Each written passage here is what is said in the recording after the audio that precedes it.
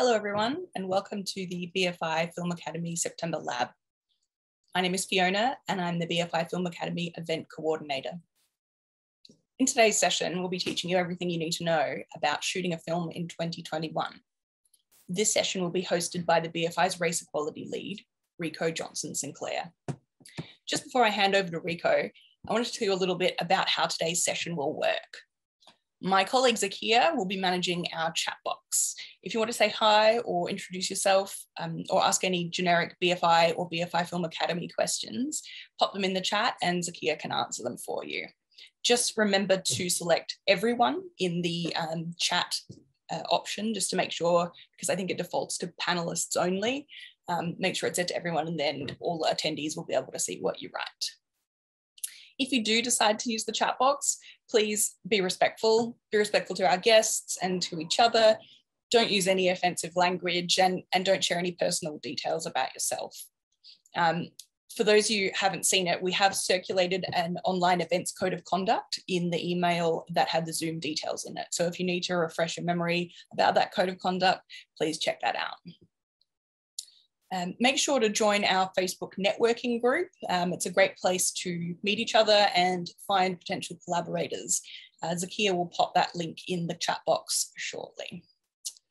Um, just a reminder, any questions for our guests or, or the host, please put them in the Q&A box. So at the bottom of the screen, there's a Q&A option. So that's where your, um, your Q&As for the panelists need to go. We'll be allowing 15 minutes at the end of the session uh, to get through as many of these questions as we can. So be brave, ask your questions. Um, so, and just finally, uh, today's session will be recorded. Uh, so um, we'll be posting that recording to the BFI YouTube channel later this week. Uh, keep an eye out on that one. That's all from me. I'll uh, pass over to Rico. Enjoy the session. Hey everyone, I'm Rico Johnson Sinclair, and welcome to The Future Is Now, uh, where we're going to talk about uh, filmmakers' utopia and how to get there and how that starts right now. So, without further ado, let's start. I'm Rico Johnson Sinclair. Um, I'm the race equality lead for the BFI. I am a black male with short curly hair um, and sitting in a room full of plants with white walls. Um, and I've got a little bit of a beard too and a black and white t-shirt. So I'm going to pass over to Joshua. Hello, everybody. My name is Joshua Okpala. I'm an actor and intimacy coordinator and a quick brief overview, I nurture and facilitate the creation of intimate scenes whilst maintaining consent and boundaries. I've worked with Netflix, BBC, Amazon, Channel 4, and my pronouns are he, him. I'm wearing a beige polo t-shirt. I have mid-length black hair in plaits, and I'm in a white room with a blue painting behind me. Let's go for Jay next.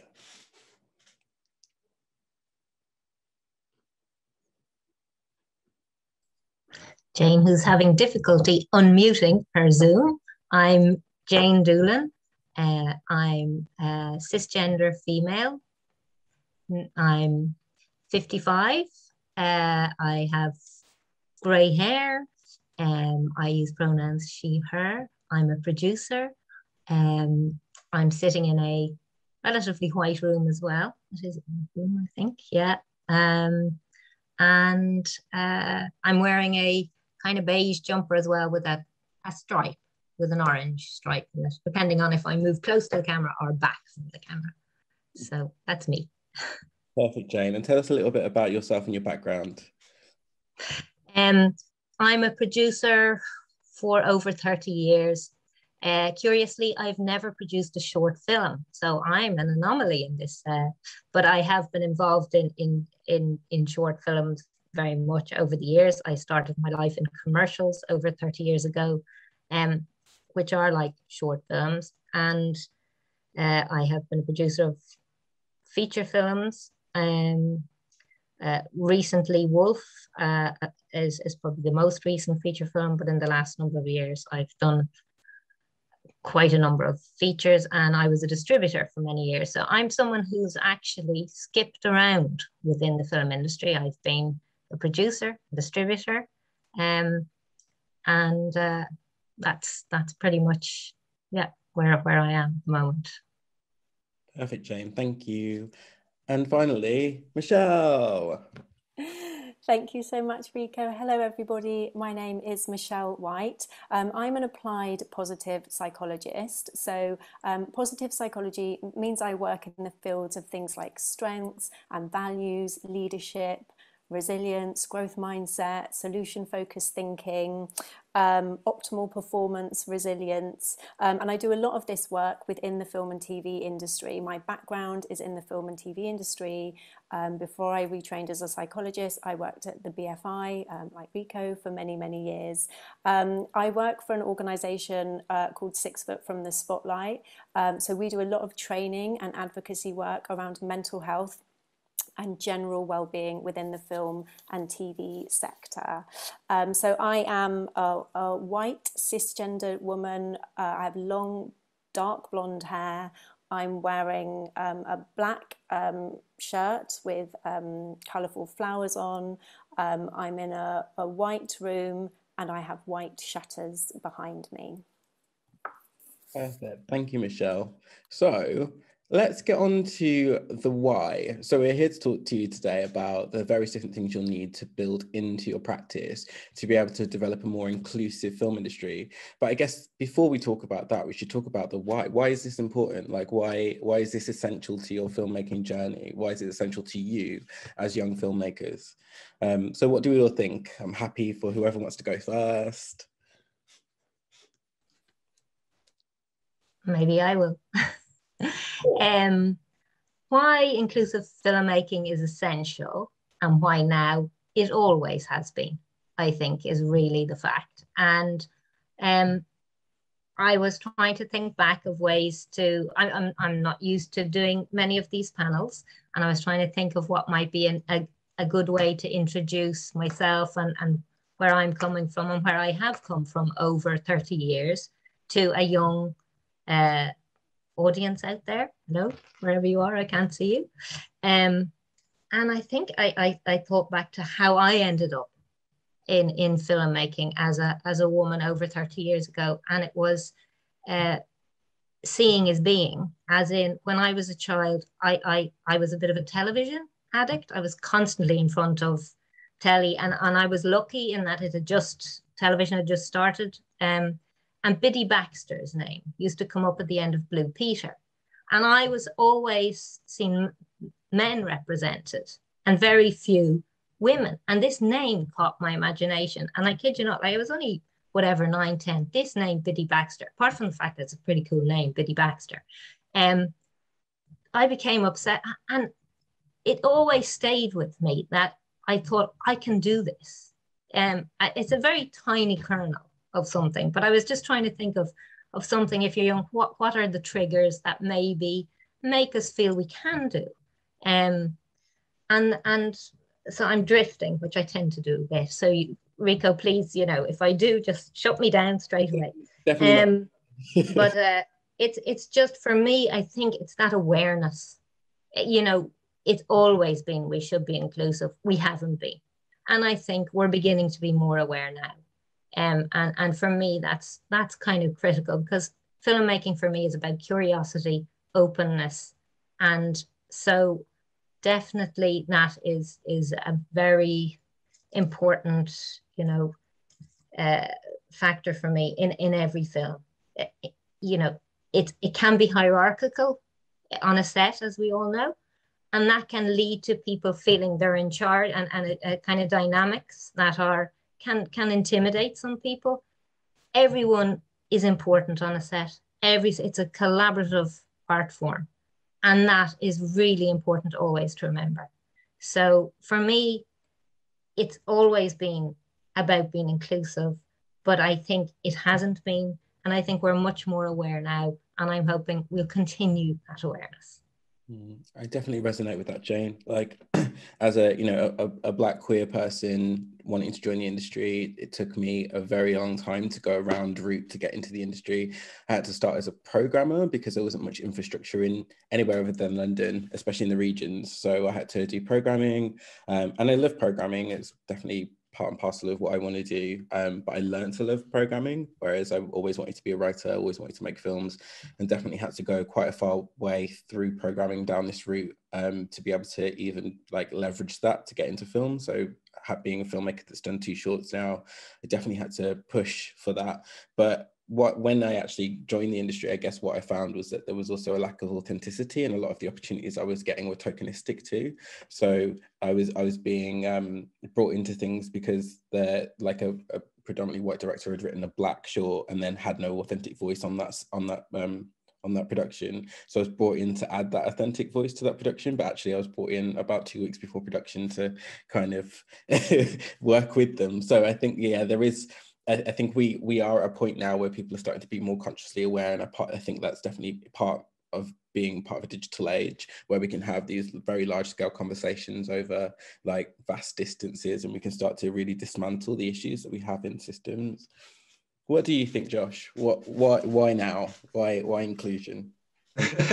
Yeah literally just going off what you just said rico um, with that authentic authenticity in the film and the art that we want to produce and likewise with what you were saying, it's important to have the people that can show that with the diversity that you bring to set.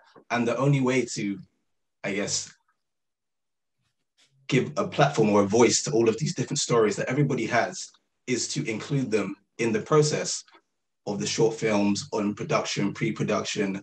You need to have them on the earlier stage so they can be part of it and express their own experience to put that through to the art. So 100%, the authenticity, the only way to truly get there, in my opinion, is to open that up to other people to have their voice heard so it can be shown through the art that we create. Yeah, I agree. Um, the um, TV and film charity just released a report to say that you know mental health in the industry is a complex thing, um, and I think that mental health is so important and well-being is so important to being on set. So Michelle, do you want to talk a little bit about um, why you think this is important? Maybe give us a story of when um, when that's that that process on set was really beneficial to a production. Yeah, thank you, um, Rico. So, um, uh, you know, the Film and TV Charity Report is, is well worth um, everybody going to have a look at. It is a really, really um, comprehensive report. And like Rico says, it, it really reflects how complex mental health is for us individually and then you know in, within the ecosystem um, of, a, of any organization but particularly something like a, a, film set where you have many many different dynamics that you're thinking that you would have to contend with. Um, I, I tend to approach this stuff through the the, the angle of um, psychological safety on set. And, and I talk a lot about how and why these psychologically safe environments are beneficial. Oh, an overview, psychological safety in and of itself is, is quite complex, but an overview of psychological safety, we would say that these are environments where there are high levels of trust, where there is shared mission and when there is very, very transparent communication. So these would be the three kind of pillars of a psychologically safe environment. But the backbone of psychological safety is absolutely inclusion safety um, because we, we really, really recognize that you can't have any of these three pillars in place if you don't have inclusion. In terms of the way that the human brain works, inclusion, it's, it's so fundamental to all of us. It's, it's important to the people who are being included as well to see that everybody is being included. Because even if you're in the in group, if you see that people are in an out group, it still creates a lot of uncertainty it destabilizes the entire environment. So it's inclusion safety in terms of our of, of mental health is incredibly important. The other reason that it's really important is that we know from actually decades, decades of research that we've done around this now, is that, you know, in psychologically safe environments where everybody is included and everybody feels safe, you are much more likely to get optimal performance. You know, by that I mean they're more creative environments, people are more innovative, they're more strategic, people are much healthier, they're more resilient, they're more productive. I could go on and on about this. But as Jane said, you know, Jane talked about, you know, openness and creativity and how core that is in terms of a of, a, of an environment to, to you know the film environment, you can't have openness and creativity if people are scared or fearful or stressed out. These two parts of the brain will not work at the same time. So it's really important, I think, from a mental health perspective, that we start to pay a lot of attention to these things and really think a little bit about how the how the human brain works and to understand that we really have to nurture people if we want to get creativity and we want innovation and we want agility. Um, in terms, um, Rico, you asked me if I had a good example. I mean, I think I've got so many examples. One of the things that our um, the organisation that I work with does is we train well-being facilitators. So um, this is quite similar, Joshua, to the to the kind of role. It's a, it's a, probably a kind of like a parallel role to the role that um, Joshua does with his intimacy coordination. So we train people who will go onto a film or a TV set and just take care of every piece of well-being, mental health. They will do mental health risk assessments. They're fully trained in really boring but very important things like mental health and the law because I won't bang on about this stuff, Rico, because I know it's boring for people, but it's also, it is actually enshrined in law as well that we take care of people's well-being. Um, so from the work that I do, I, I, you know, I have, I have lots of stories about, you know, how we have gone onto film sets that I would say have been really um, struggling and how you can do small things you know, you can make, we would call them in the industry kind of reasonable adjustments, little things that you can do, you can go in to completely change somebody's experience of working on a film set. Tiny little tweaks that help to make, you know, one person or indeed a, whole group or team of people feel much safer. And then from that, um, you're going to get much more creativity and a healthier, a healthier team. I couldn't agree with that more. And like from my own personal experiences, so I just finished a, a BFI Network film last year, um, and as a person that suffers with bad mental health, I have psychotic symptoms, and I was creating a short terrible idea, but it was a great film um, about racially motivated sexual assault. And it was just so imperative that I had people on set that were dealing with everything else because me as director didn't have the space or the time to come outside of my own experience and also keeping an eye on making sure that the short was going going well, going the way that I wanted it to go to. But also what was really surprising to me, um, and it shouldn't be surprising to me, this should be the way the industry is, but that it was actually um, my funder that pushed for me to have a mental health worker on set, an intimacy coordinator on set. Um, and that was surprising, but also super beneficial because I couldn't have imagined that process without um, those people on set. And also just having a really, uh, really great producer who kind of um, understood um, the the topic, but didn't really try and hold the topic from me because obviously the complexities of me being a person of color and my producer being white and talking about racially motivated sexual assault that was super important. So yeah i, I um like i can i can also give loads of um loads of um, insight into times where it was so beneficial and, and so pivotal to the role but also kind of understanding i guess we'll go into this next understanding that you all as uh, as first time filmmakers young filmmakers your budgets will be drastically reduced. So it's really about how you implement those things in a really kind of um, a really cost effective um, but also really conscious way a consciously inclusive way. Um, i think we may have lost someone uh, but i'm going to move on to the why. Sorry no the how. We've done the why. The how. So how do our young filmmakers implement things that will benefit their sets? How do they, with their uh, with with you know budgets for first time filmmakers are going to be significantly lower than you know um, experienced filmmakers? How do they, if they can't afford an intimacy coordinator, if they can't afford a mental health practitioner to be on set, how do they make sure that they're taking care of the of, of the people on set, their cast and their crew? How do they make sure they're being care centered in everything they do? I'll throw that out to either of you. Well, I, th- I think it's really important because, of course, it's it's not always easy to have the budget when you're doing a short film, especially if you're producing it yourself, to be hiring all of these people. And I completely understand that. But at the same time, it's really getting down to the specificity of the work and whether or not you're having a a scene that has stunts or it has intimacy, whatever the scene is, you really try and take all the precautions you can. Um, of course, as an intimacy coordinator, I would say, please try your best to get intimacy coordinator. um, there are a lot of people that have trained or finishing training that are open to helping out in any way that they can. I've helped out on short films just because in my head it's better to have someone than to not have anyone at all. But if you really can't have an intimacy coordinator, then absolutely clue yourself in on what consent is, boundaries, and just having that understanding and empathy so you can speak to the actor and make sure that it's a safe environment for them. Because at the end of the day, we all want it to be a great film and it's a collaborative effort. And like everybody has been saying so far, that when people feel comfortable then they're a lot more open to the creativity which is necessary in the short film that you're trying to make. I would definitely, yeah, agree with that. Um, if you can, if you do have the budget, make sure that you're you're paying the people on set to do the jobs that they're trained to do, and I think it's really really important. And it goes back to equity. Um, like if you are, and especially if you make um, decisions equitably. Like if you're doing a film about like black queerness and and you don't have black queer people on set, then you should be putting money back into the communities that you're trying to speak from.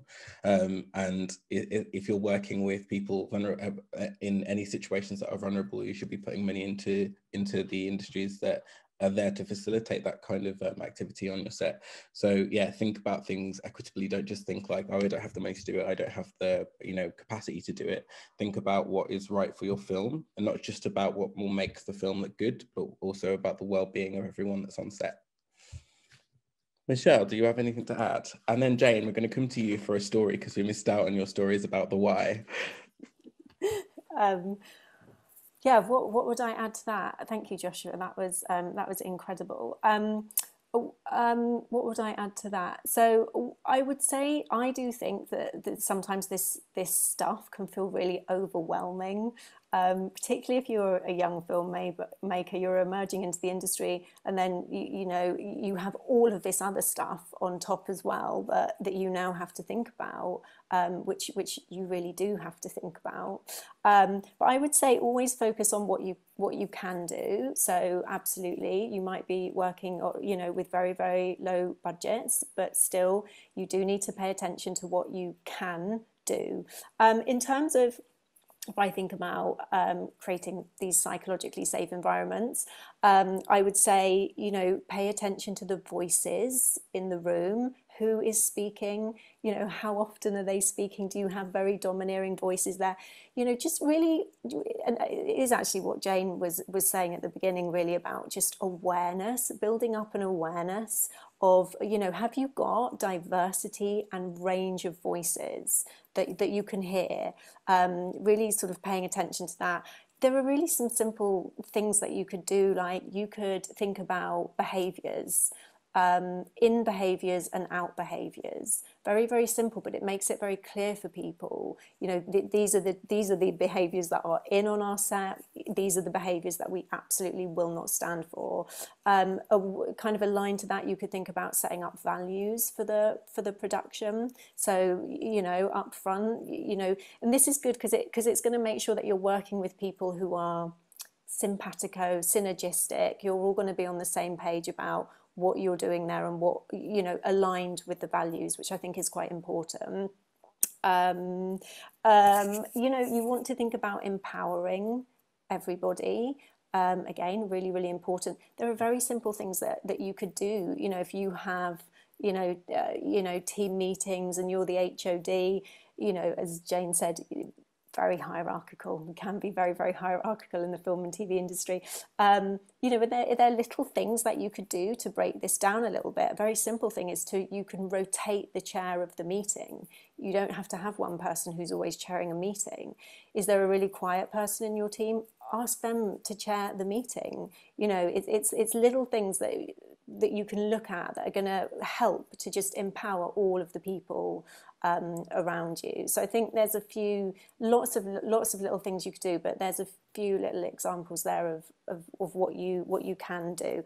And I would always say role model a, from a leadership perspective, role modeling is the most important thing that you can do. So you've always got to make sure that you are what's that phrase? You know, walking the chat, walking the talk. um, it's gone a bit late now, my, but that, that you, you're showing, you're actively showing people um, what the behaviours are that you would like to see replicated around you. Yeah, I think that's really important. You spoke about like like small changes. Uh, we're we're habit driven people, and so if we implement those habits really early, that almost becomes second nature. I think the perspective in the industry and with people generally is that this work, inclusive inclusion work, is like aside to filmmaking when actually it's very much involved it's engaged it's almost intrinsically linked. And if you're going to join this industry i mean we we may be at a time now where it's started to be introduced but by the time you you as filmmakers start to make your, your like first big budget um, short film or first feature um, they'll very much be ingrained in. So if you're if you're at your early stage of your career now it's probably a great idea to do those small scale changes that will help you just have that thought process engaged. So it's not an extra bit of work that you're taking on. Um, and those are simple things like uh, like writing a code of conduct before you have meet meetings or a code of conduct for how you want on set, uh, how you want people to act on set, or make sure you have a bullying and harassment policy that you've written up or gotten from somewhere. The BFI has a great one. Um, make sure you're thinking about anti-racism and equitable practice, and make sure that you're con consciously aware of that if you're going into situations and making films about marginalized people. So like small scale changes that you can implement into a in, into your set into your production that will help you in the future because this is what what it's all about. It's about building towards that better future building towards that utopia.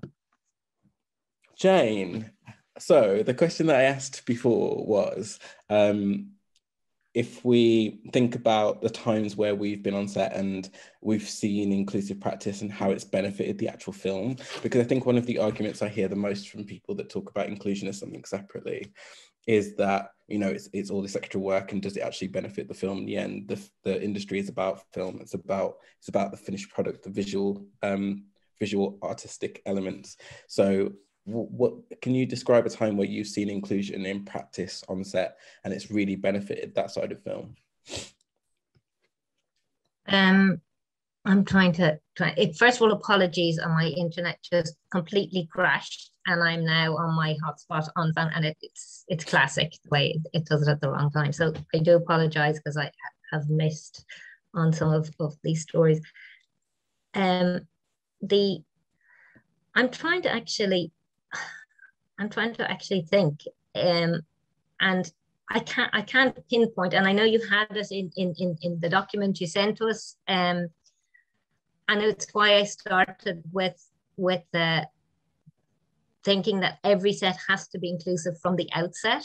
Mm. Um, and I think, in a way, if I, I back to, I suppose, COVID for us has been a, a, a change in, in filming over the years. One of the things I found, and maybe this this is is an answer in a way, is that um, inclusivity was was threatened in COVID and it was threatened by virtue of communication, which became quite difficult with masks and with how you had to deal with departments.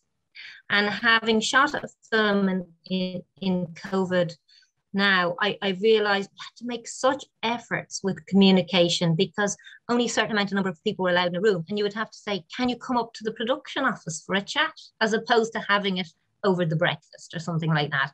And and it became a big deal when it wasn't. It was you know so i i think things that i learned from it were that you you had to again be aware and think of what this was doing. It made it made you have to work harder um at, at making sure communication was really very clear.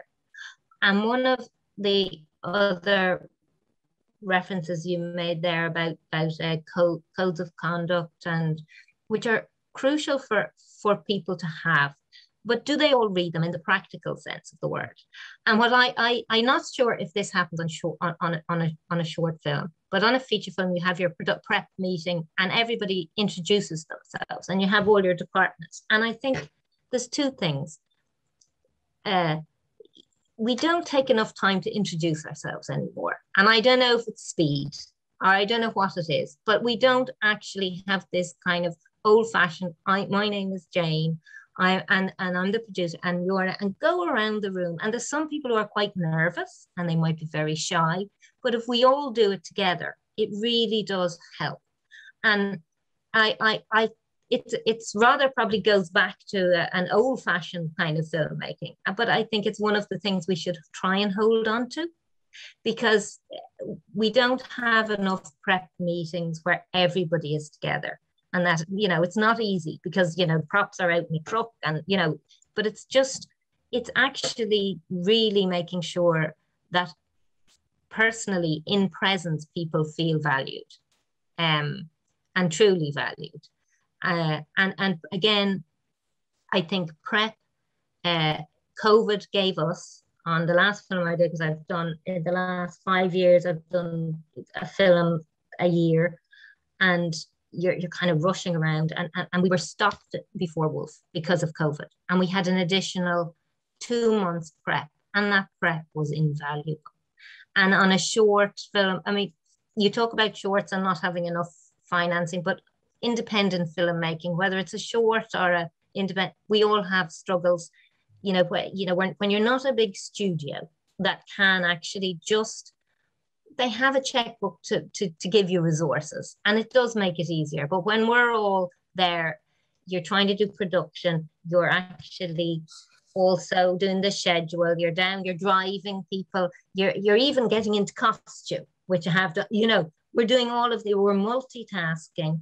Um, preparation is really invaluable to, you know, if you can't afford the intimacy coach. Maybe there's workshops. Maybe you can talk to you know and find out go on things that aren't as expensive but you get you know it's just again being aware that there are things out there for you that you just make sure you interrogate. What is it you're trying to do? And break down your script and and talk to people and include them from early on. And prep is is relatively cheap and particularly if you've no money anyway you might as well just make sure you're well prepped, you know, because if maybe on a short, you've two or three days to, to, sh- to shoot it. In fact, I'm actually the room I'm in at the moment.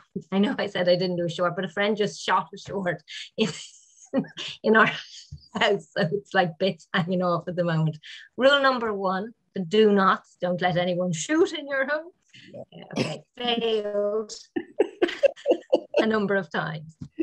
So, uh, but um, so again, uh, in a rather, in a very specific way, I think COVID taught me that I actually had a way to go in, in had to work very hard at communication. And um, it, it just had put up a barrier, but it made me more aware of how important it is.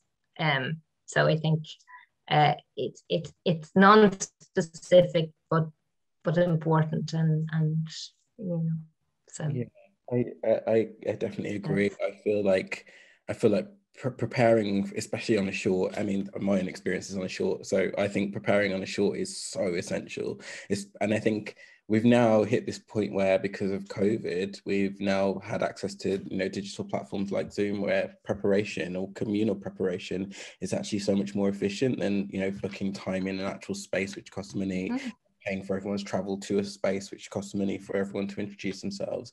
Now it's two hours on a Zoom, you know, a, a mm. couple or set to do around the room and introduce each other and just get a feel of like the attitudes and, and like Michelle said, behaviors on set because that is really important as well when you're heading into set. So yeah, preparation is super invaluable. That's a really great one, and I think that that feeds into the how as well. How you um, implement inclusion, especially if you're a first-time filmmaker or a young filmmaker that's going into the industry with a small budget to create a film. This is a really easy way that you can implement just some kind of I guess community on your set, which hmm. really mm. you're trying to kind of leverage like inclusion or, or leverage like good behaviors and working together and, and having those good behaviors. I think it's yeah, really important. So I'm gonna ask you both for uh, two do's and two don'ts for inclusion on set and to give you a little bit of time to think i'm going to go first. I don't know if i'm going to regret this. I'm definitely going to regret this. Okay. So do um talk to the people that you hire as crew and cast about your values on inclusion before you hire them. I I personally advocate for this because I in both of the films I I did, um, coming from the background that I come from, doing the work that I, I do, I was make I was making sure that I was having those conversations with anyone. I was saying like, do you value inclusion? Do you understand the importance of you know equity? Like, what is your understanding of that? Um, I was having those conversations from the offset, and I wasn't necessarily saying no to anyone that didn't understand what I was talking about. But I was having the conversations, and then if they understood the value of what I, what I was saying, then I was able to implement the fact that this was of importance to me at the very beginning. Um, I would also say do um, do give yourself and part of part of your contingency budget especially uh, should be around inclusion and well-being. Um, so ring fence a little bit of that money because you never know what's going to happen. And i think that work good work can't happen without that being at the core of what you do. Um, it, the good work can't happen unless you're consciously thinking about the well-being of the people on set um, instead of going to my don'ts, I'm going to go around and do do's. So it gives me a little bit of time to think. So I'm going to go down the screen. So, Josh, you're up next. Thank you, Rico. um, I would say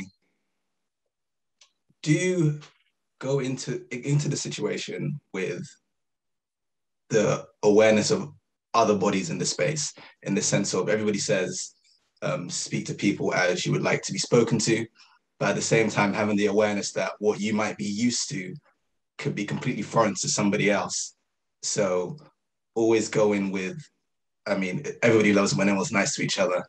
And I know it probably sounds a bit cliche saying that, but having that awareness of just being genuinely kind to other people and in that space, it will only ever bring out the best of everyone because of there's nothing better than stepping into a set or a rehearsal room and from speaking to everyone you just feel the vibe is a safe area and you can all speak to each other without any fear of judgment or prejudice of anything like that. So be open-minded in the way you speak to people.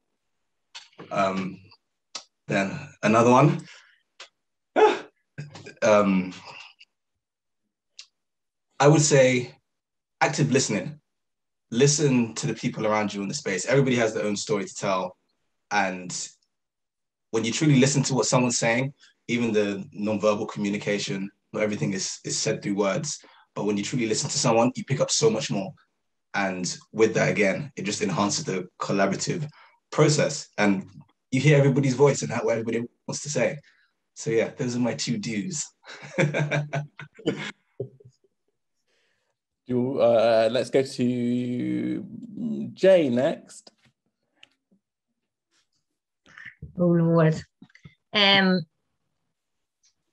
the, I suppose being, like you're saying, but being very, being aware and being not afraid to speak up.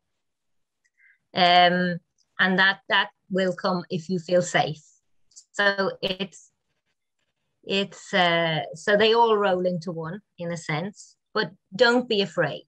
I think it, it it follows even in in terms of just practical. Never be afraid to ask a question but never be afraid to speak up if you, if you feel in any way something has happened because again by by communicating and talking we can work through things.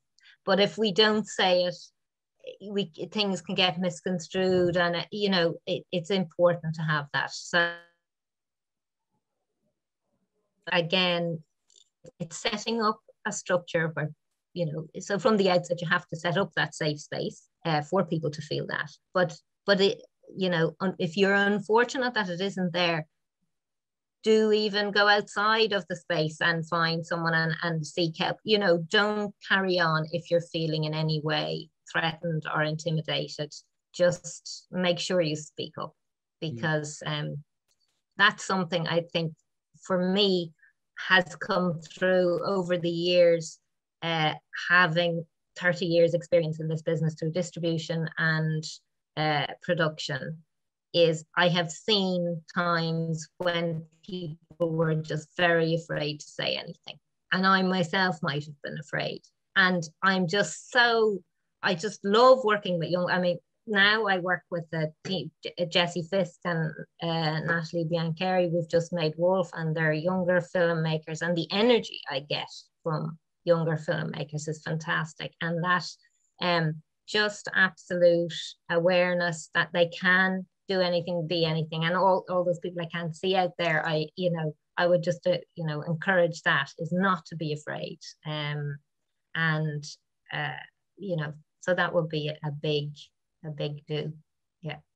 Yeah. I to find two. There, there's two in there. There was two in there. Go on. Go on. Yeah, it was like do do do say it and do be and don't be afraid. Yeah. yeah. but I, I think um, to add to Jane's point, which is really important, how you say things ultimately dictates how people behave around you. So when you say um, when when you're talking about something that's affecting you or talking about something that you've acknowledged on set i think you should also say that with kindness and try and say that as like as measured as possible. Um, this is something i learned the hard way because i'm very i'm naturally very critical but i can also be because i'm neurodiverse i can also be really blunt when I'm really critical, and it never goes well. It absolutely never goes well. So just think about how you're consciously saying things as well. I'm going to go to Michelle next. Oh, that's such a hard job to go last on this one, isn't it?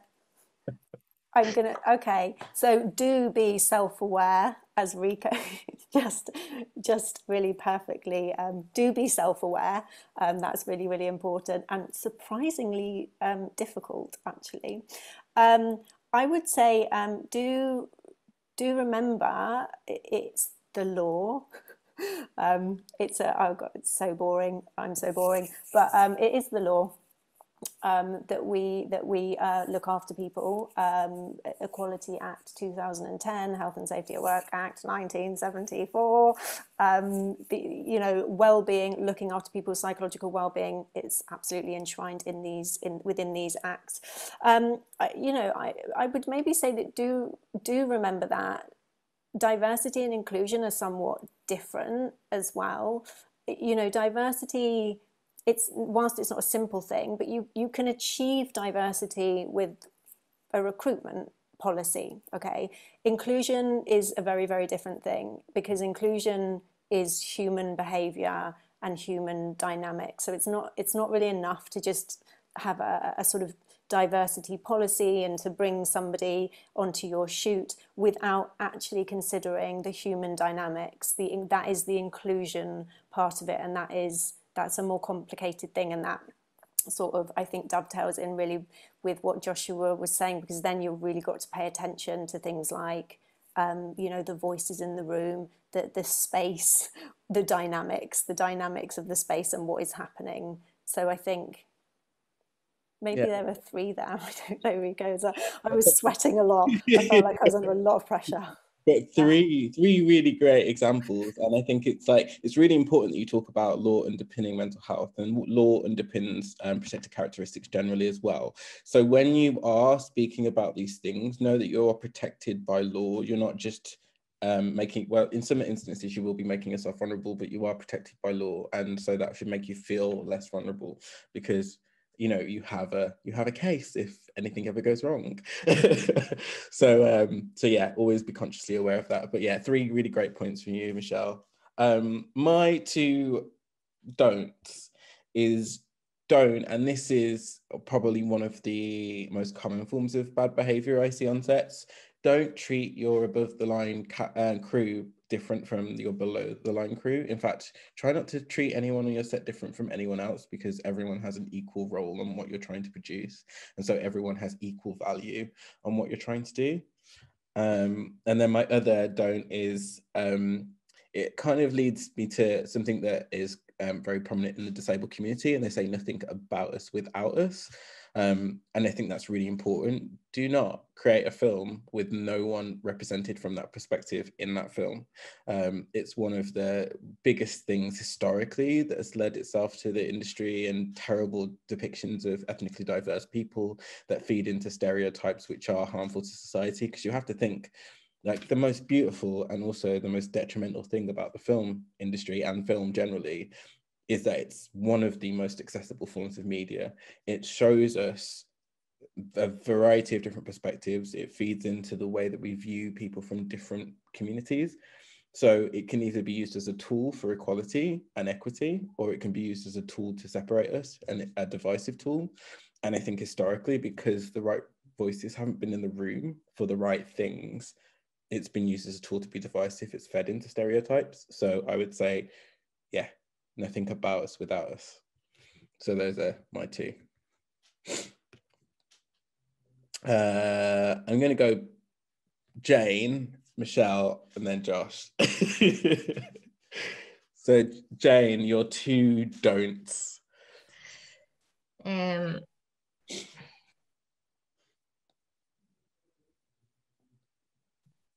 let me see. You don't like you say, you know, don't follow kind of trends and and styles and things, but be be truthful and truth and integrity always shine through above all else. Um, and uh, I, I think that's very very important all the way through from whether it's on set or in your script. It's it just uh, it you can you can just feel it. So it is it's it's it's echoing more of what you're saying. But i actually had written it down when i was reading your list. It was it's important. It's very important to be true to your own voice and um, not just look around at what others are doing but but it will you know you will get there. Um, and because there's a lot of younger people maybe watching and starting out emerging people trying to get started really do believe in yourself. Um i think that's crucial. Um, and another would be, um, it's probably slightly but don't don't take things criticism personally necessarily or notes or, or things like that. This is more in, in terms of script because people it, to, to grow as a filmmaker, you have to be unfortunately able to take rejection. And there are good ways of giving a no to somebody. And um, because I think it's it's it's helpful. There's notes are always helpful. So try and, and take notes uh, as as they come um, and use them to your benefit. So try not to take things too personally. Um, because sometimes we can and because filmmaking, particularly for writers and directors, is a very personal uh, experience. You're you're you you know you're really putting yourself out there. Um, so also how we give criticism is equally important. But I think you know it does help us grow if we learn how to give it and learn how to take it.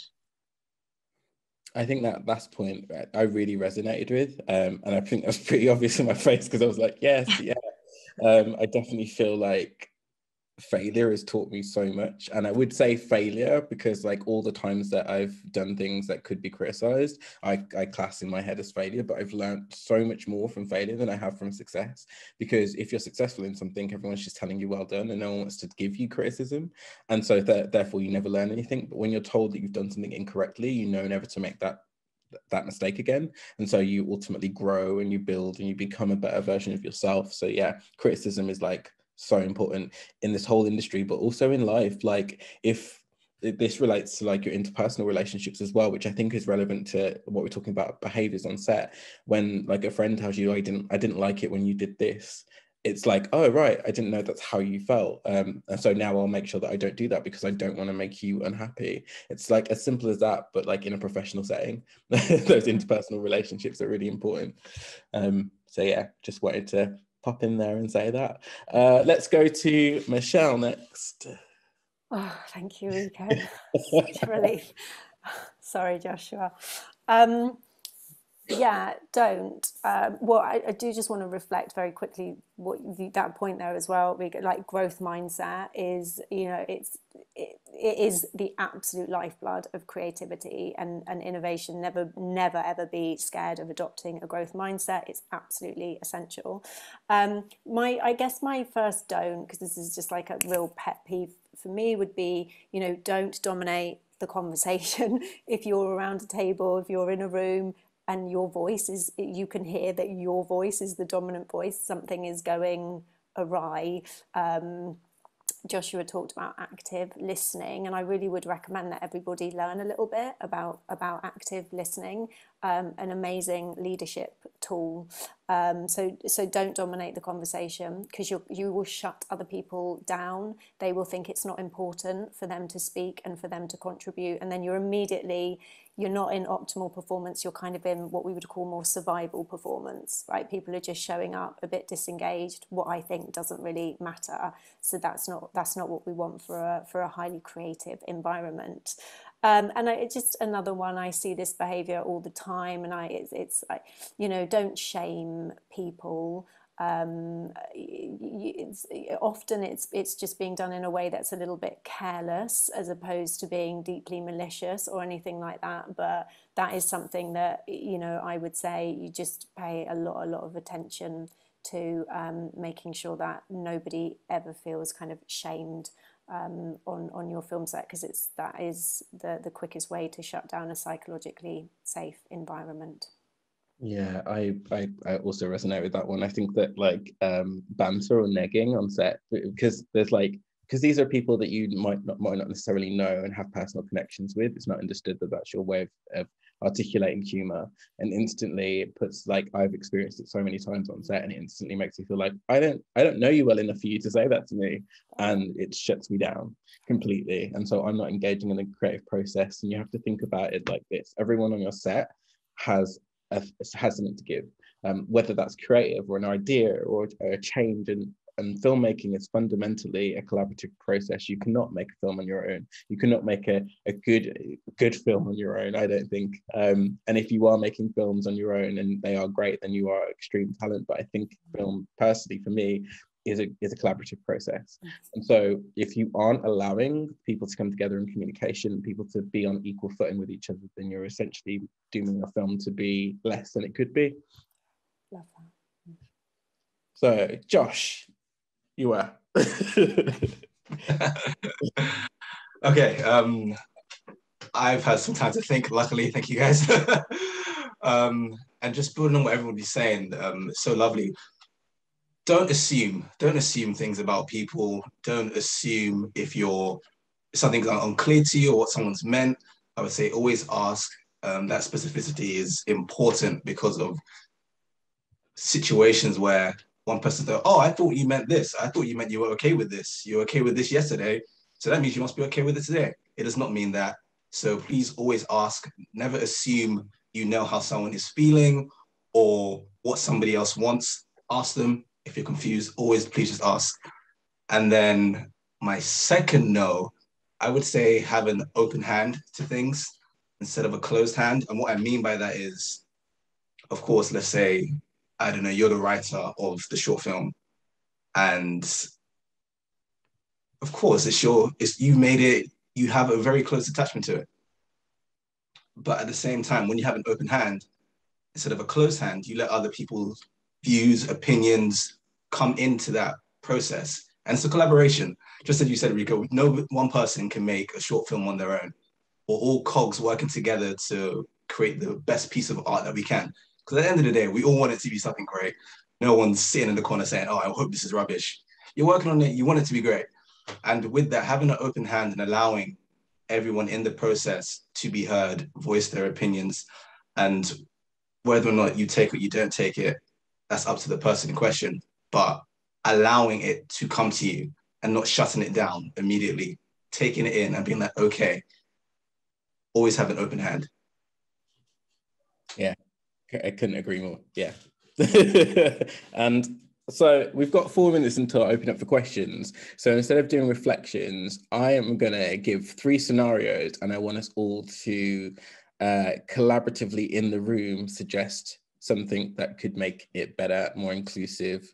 Um, and so the first uh, scenario I'm going to give is I want to create a film about um, a queer disabled person who falls in love. However, I am able-bodied uh, I, and I am queer. What do I do in that situation to make sure that I'm being inclusive?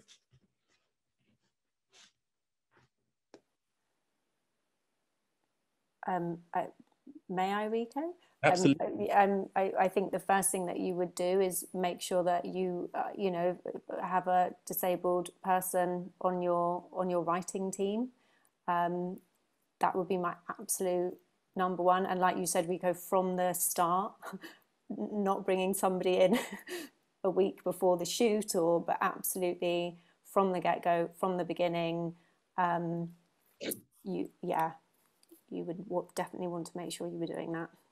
A thousand percent, yeah. I I think that like it's so important that as soon as you have that kind of like um idea, you should one be self-critical and say to yourself like, why is this an important story for me? Yeah. Uh, because why why are you invested in a in a love story between someone that's a disabled person um who's queer and if that reflects your personal experience in some way it doesn't have to expect like um completely um reflect your experience. You could have a disabled person as a sibling, or you could be friends with a disabled person and their story resonated with you, but you should still bring an authentic voice in. And you should bring an authentic voice as soon as that seed germinates in your head, soon that idea is like, oh, then you should you should bring someone in.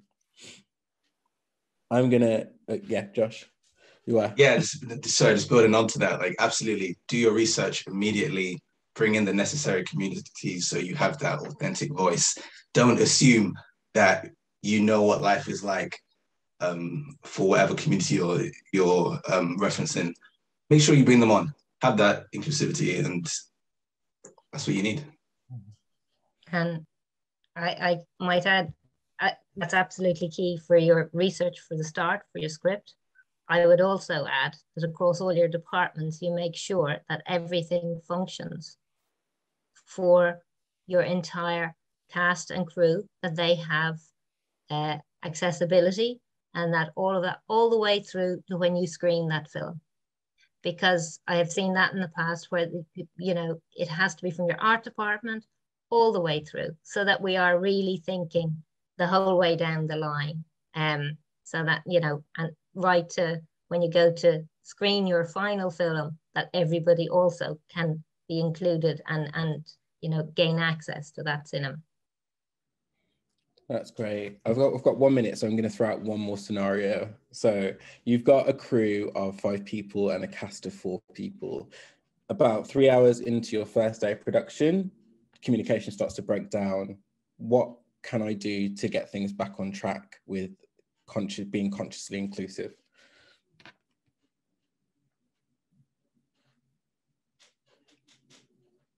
I would say the the, the first thing you should, should do is take time from production to deal with it.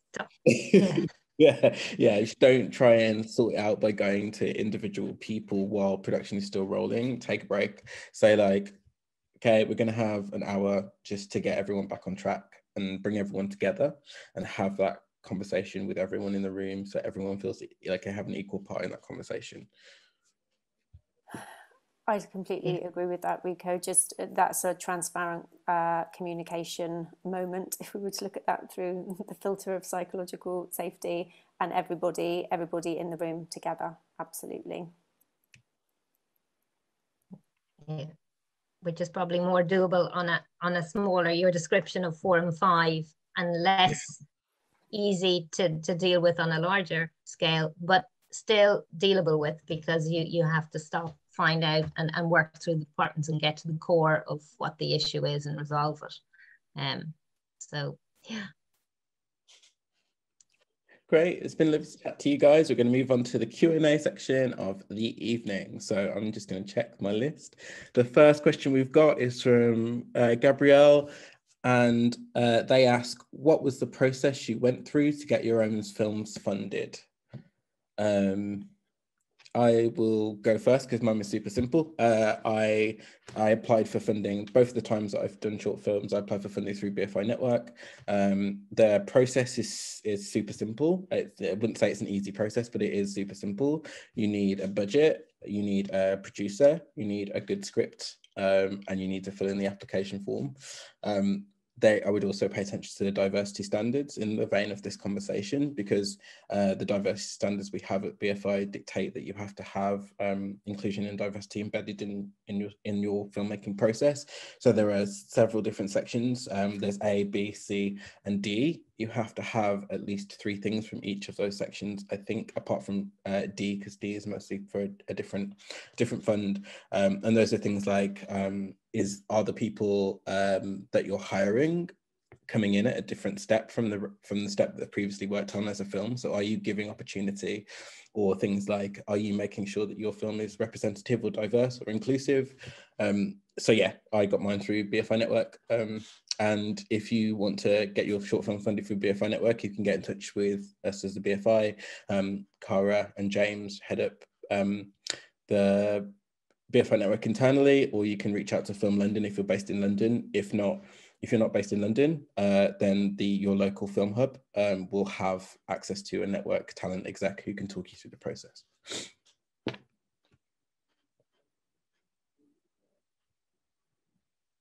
Jane, do you want to chime in here? Um, yeah, well, getting a short film made is, you know, a triumph for anyone. Um, and a lot of people will end up doing them with favors and they might be at an earlier stage where they can't, you know, I, I you know, it is hard even to get that that step up to get the real funding, you know, and I know I'm based in Ireland and sometimes Italy, and I know here even trying to get your short film made, you already have to have made a short. And God love people. I'm going, well, how can they have made a short if, you know, it's like, so it, it can be quite tricky. Um, so there are regional, there, there are other ways and this kind of can be regional seed money and uh, script labs and different ways you can kind of wheedle your way in and get enough and then try and get, it depends if it's your first um, short. Uh, I suppose I would say to everyone, just try and you know believe in yourself, and you will you will get it. Whether you've got it with uh, funding and support, which is brilliant that they are out there for for short filmmakers. But if you have a great idea, and um, you know go for it and and use use it as much as we were saying you know even use those templates from bfi about how you how you work and use your prep but you know, just to encourage you, um, go for it. If you don't get it the first time, go for it again, and uh, you know, even make a little scene. You know, just just keep keep working at it. So, I, have dealt mainly with feature films, which is is is um, uh, the same actually. You know, you're having to get your script and go for it and get your your your production funding from BFI, Screen Ireland, Polish Film Institute, Eurimages, whatever on a different scale. It's up one, but you know, if it's actually all filmmaking at the end of the day, and and and all the same rules apply. So, um, I'm gonna. Just, I'm going to pop on to the next question, um, which is what is your take on telling stories or dealing with sensitive situations on screen that the filmmaker not, might not have been directly affected by, but wants to do explore and do justice?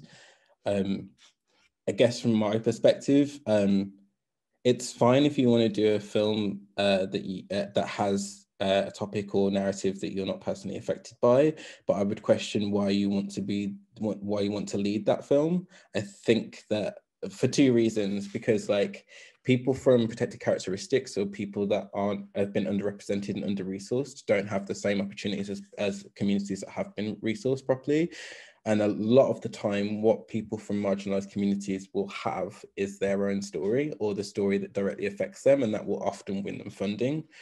By someone coming in that hasn't got a lived experience of that experience doing that story, a lot of the attitudes to, for funders will be like, we already had a story like this, so we don't need to fund another one. Um, so there's a point of contention there. So I would really question whether or not you're taking an opportunity away from someone that whose experience is reflected in the film.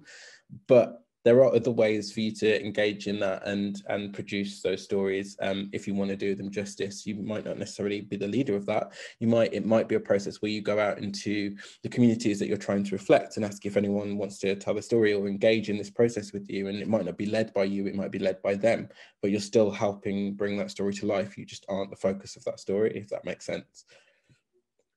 Um yeah sorry for filibustering that one Um, anyone got anything else to add on that question?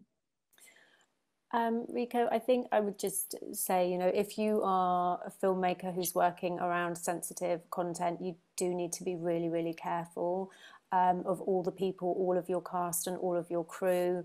Um, don't assume that people are just okay with sensitive or traumatic content. Um, people may well not be okay with it, and they might not tell you that, you know, straight off the off the bat. Um, people might be making an assumption that they need to be okay with it, but you might be dealing with things that are really triggering for people.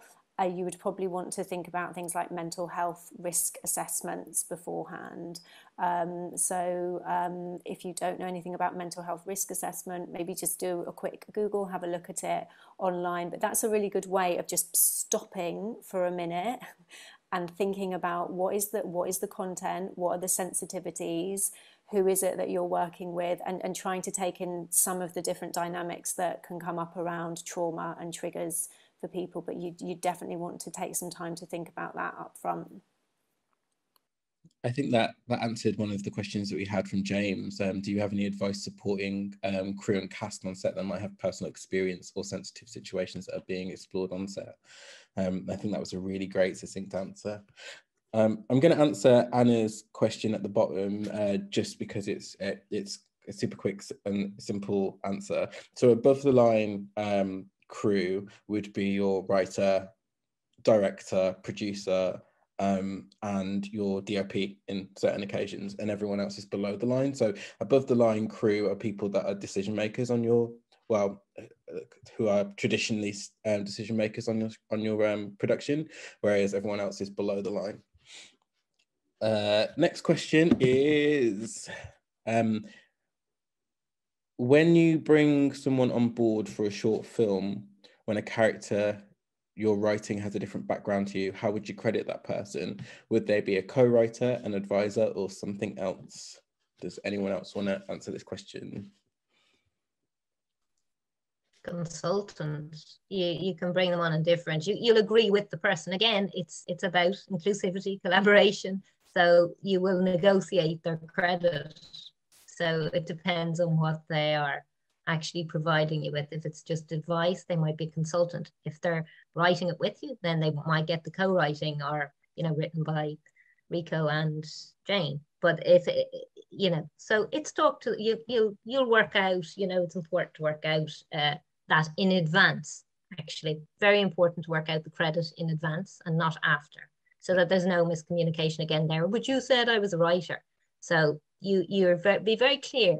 I mean, there is, you know, clarity around uh, what job descriptions are is also something that can help, you know, so people know exactly what's expected of them and, you know, the, and that, that helps too. I would also say like just be really uh, conscious about how you're having that conversation because I know that if, if you're coming in as a director or, or, lead writer and you're having that conversation with one of your consultants who also wants to be credited as a co-writer because they are writing it with you, don't come from a place of authority because actually you're equals in that conversation and that will really help make them feel like they're being listened to and nurtured because they should be listened to and nurtured in that situation. If okay, I've got a question from Diana if someone came to me on my set and shared that they were uncomfortable or there was an incident on set, how would I go about dealing with this professionally? I think this is probably one for Michelle. Yes, I would say maybe me or Joshua. I, get, I think depending on what the, you know, where the, the context of the discomfort. So I think that, you know, the first thing to do is active listening. You would want to really listen to that person and understand what the what the discomfort was uh, to do with. You know, whether that's to do with something that's that's actually being um, shot, or whether it might be something that's around an interpersonal relationship. Um, so I think that's the first thing: discern what the actual what the actual challenge is there. Um, and then what was the rest of the question, Rico? What would you do? What would you do?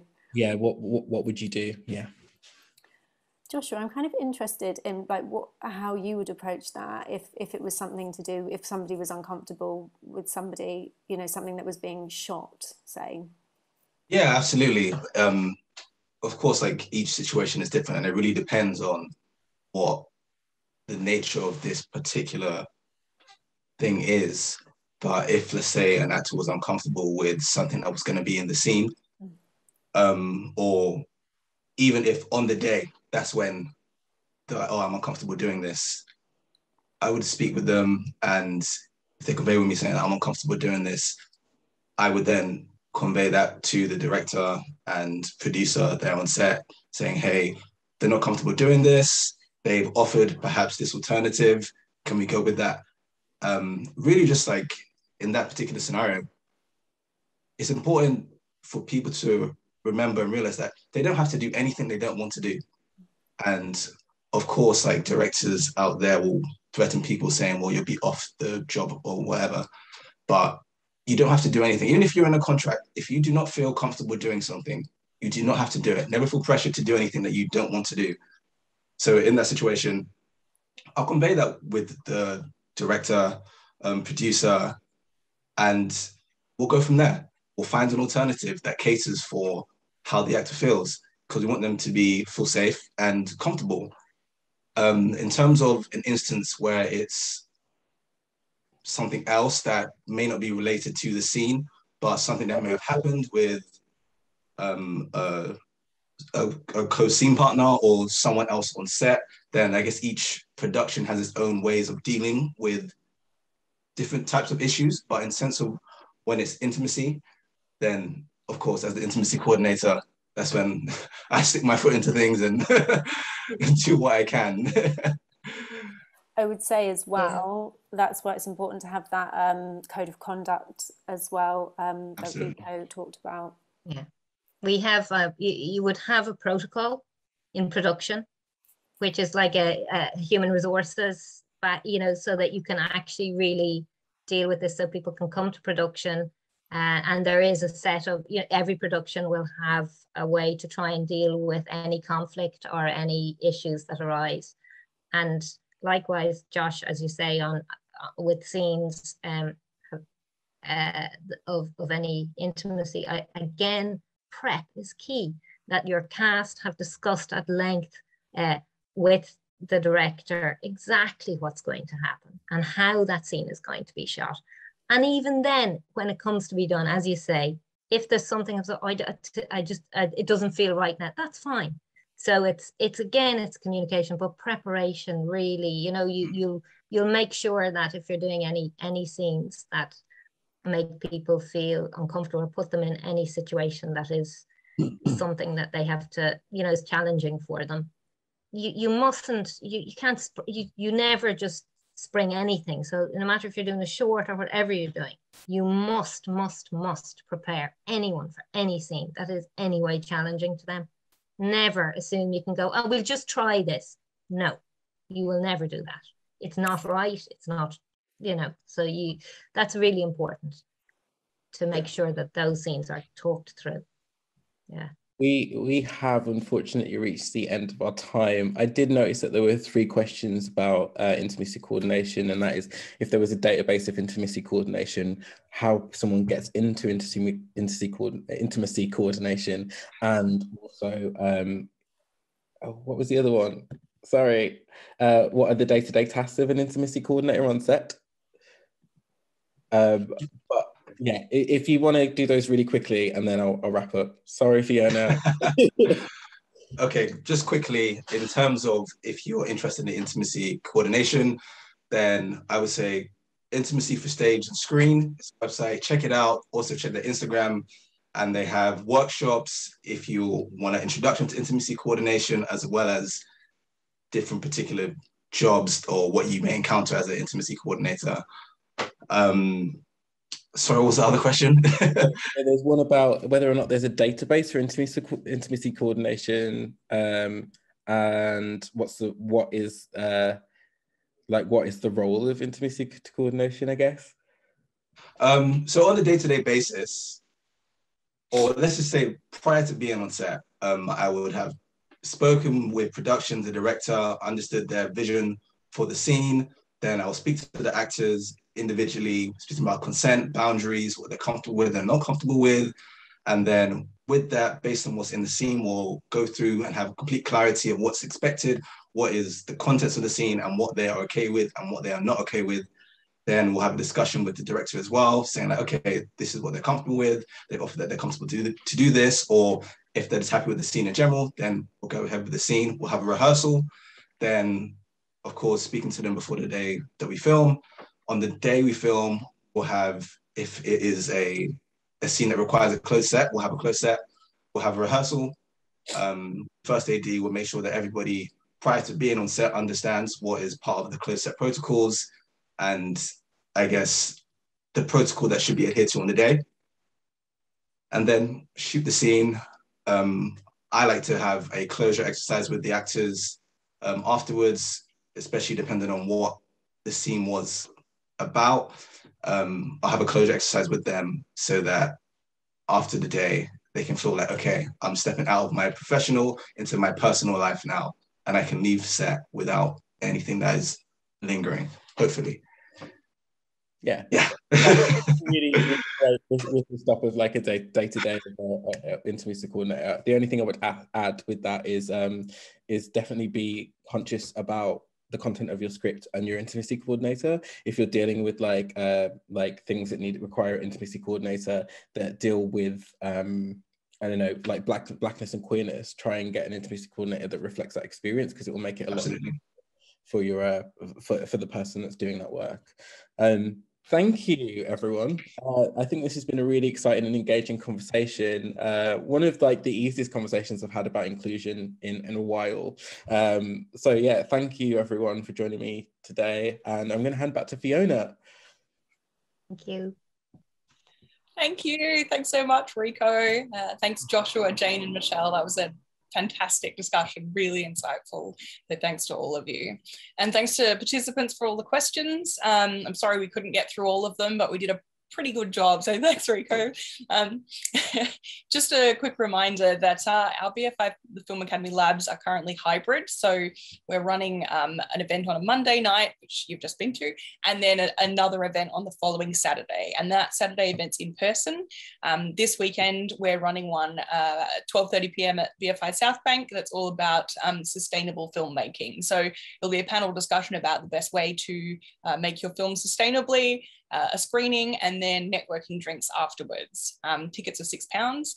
And I think Zakia is going to, she's already popped it in the chat. So um, yeah, come along to that. We'll, we'll, look forward to seeing you in person, having a free networking drink. And we'll also have our um, script doctors on hand if you need advice on script writing or sort of general anything really, they're, they're, they're great. Um, one last thing is that we are asking attendees to fill in a survey. So our surveys really help um, help us improve our events and make sure that we're giving you the kind of events that are useful to you. So is sharing that link now. If you could just please take a couple of minutes to fill out that survey, that would really help us. Um, I'll also send it around by email tomorrow if you'd rather do it then. So yeah, thank you so much for attending. Um, as I said at the, at the top, um, we will be posting this recording on YouTube. So if you've missed anything or you want to see it again, um, watch our socials. We'll, we'll announce when it's posted up there. So yeah, thanks again to all our panelists, Rico, and uh, have a great evening, anyone, everyone, and hopefully we'll see you on Saturday.